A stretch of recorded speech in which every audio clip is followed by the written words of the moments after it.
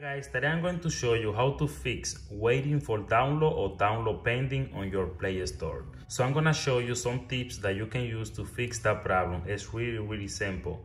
Before we keep going with the video, please, if you are new on the channel, don't forget to subscribe and share this video. Alright guys, if you're having problem, download the apps on your phone. So this is the reason, look. So you're gonna go to the Play Store right here right here let me just make an example and let me just install this app. So as you can see it says waiting for download. In some cases it also say download pending. All right that problem is happening right now because your phone is updating apps. As you can see right here if you take that down as you can see your phone is updating apps that problem happens most of the time on news phone. So what you're gonna do to stop that, just go back and go to those three lines right here.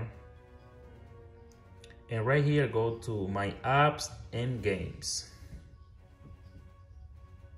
All right, guys, as you can see, right now we have too many apps updating. So what you're gonna do right here, just go up and just press stop.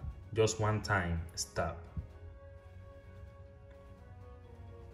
Just one time and wait 5 to 10 seconds.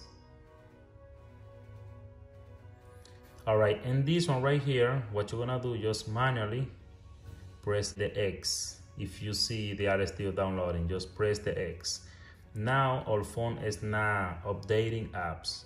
So if you go back right here, before you search for the app one more time, just make sure you see right here on top, it shows, yeah, Instagram is already downloading. As soon as you stop the apps that are being updated, it's gonna start downloading your app. So now if you go to Instagram, now it's installing the Instagram because it was already downloaded.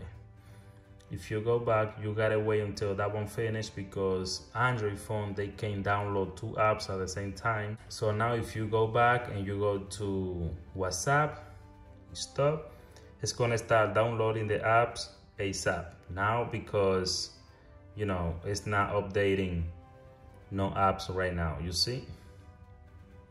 But guys, I recommend you when you finish downloading your apps connected to the Wi-Fi, and I recommend you to go back and go one more time to my apps and games and press update all. So that's gonna be good for the future. You're never gonna have that problem if you update all the apps.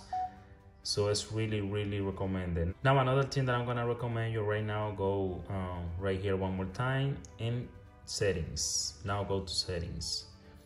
It's right here. Now you see auto update apps. Just click right there and just select don't auto update apps right here and done so what it's gonna do, you're never gonna have that problem even though you don't update all the apps because some people, they don't like it because, you know, the apps are getting heavy and all that. So you don't have to update it. What you gotta do, just go to auto update apps and select don't auto update apps and you're never gonna have that problem. Alright guys, I hope you can fix your problem with this video. If you got any question, please let me know and by the way, don't forget to subscribe to my channel, share this video, see you next time.